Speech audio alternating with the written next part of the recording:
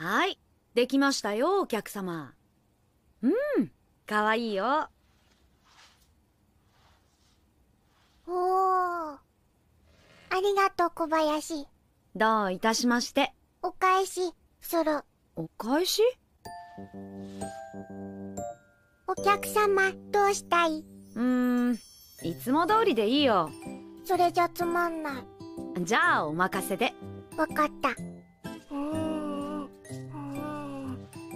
できた。小林かわいい。ちょっと可愛すぎかな。ごめん違うのお願い。わかった。できた。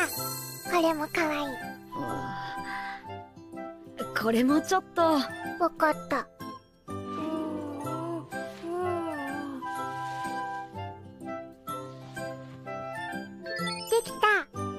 様とお揃い似合う小林かわい。いこれはトールだから似合うんだよ。